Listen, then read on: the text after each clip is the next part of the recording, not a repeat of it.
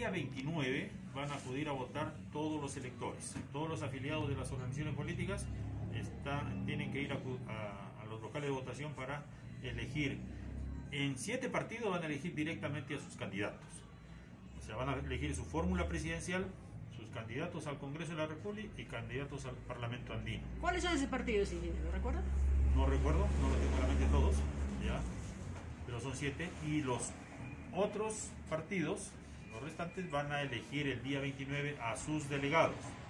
O sea, los militantes eligen a sus delegados y los delegados ya el día eh, 6 van a elegir a sus candidatos. ¿Cuántos partidos son para la elección de delegados? Eh, 17.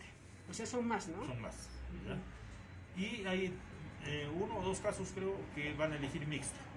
En, un, en el 29 van a elegir a ciertos candidatos directamente, pero también van a elegir el, el delegado para que los de candidatos ya lo elijan el Para esos dos, para el día 29, ¿cuántas mesas se van a instalar? En total, en Ancash tenemos 123 mesas, ¿ya? distribuidas en 20 locales que están ubicados en las 13 provincias de Ancash.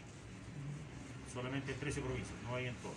¿ya? Estos 123 mesas se van a instalar la mayoría en eh, la provincia del Santa, porque tiene más numerosa, mayor población. Ahí vamos a tener 6 locales de votación.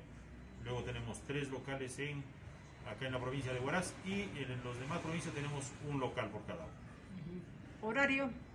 La, el horario de votación va a ser desde las 7 de la mañana hasta las 7 de la noche.